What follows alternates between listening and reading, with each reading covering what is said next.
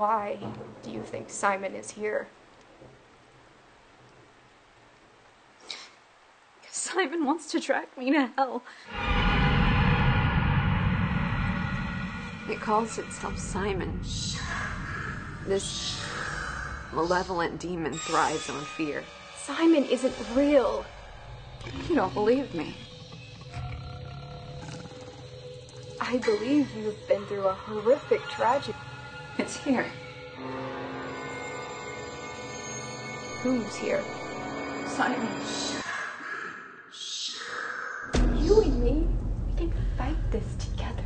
Simon is real. You